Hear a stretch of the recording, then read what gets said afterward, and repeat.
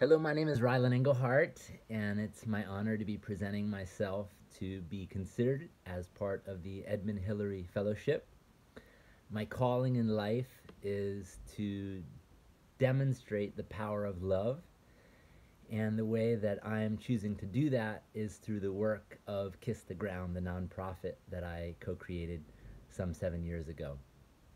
And really, that comes to the problem that I'm looking to solve in my lifetime uh, and that problem is twofold. One is in consciousness, and second is in our interaction or action uh, in relationship to planet Earth.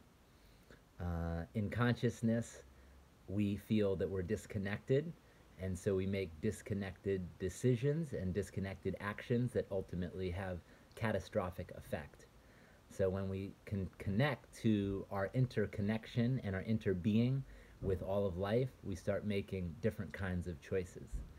And those choices that we start making are ones that have a regenerative effect, ones that have a beneficial effect on the people and places and things that are around us. And so I started this organization, Kiss the Ground, to really um, bring awareness and a possibility of how human beings can be a catalyst for regeneration on planet Earth, that we can be a keystone species creating a trophic cascade throughout all the ecosystems that we manage. That we can take agriculture from the arguably the most destructive system on the planet to being the one that can actually be the great redeemer. And so we create media to create these transformational ahas.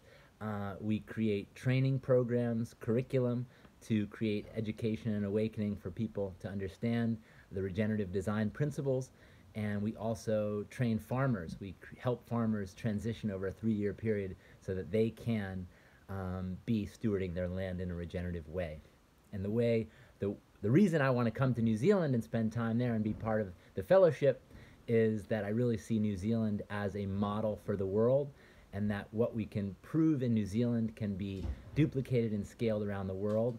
And I believe that regenerative agriculture is, well, agriculture being the second or first biggest economic economy in New Zealand, there's a huge opportunity with tourism, uh, agro-tourism, and regenerative agriculture. We can really create some amazing demonstration projects in New Zealand uh, that then can be fulfilled upon and seen and modeled in the rest of the world. So thank you for your consideration. Thank you for your listening. And uh, I would be so honored to be a fellow.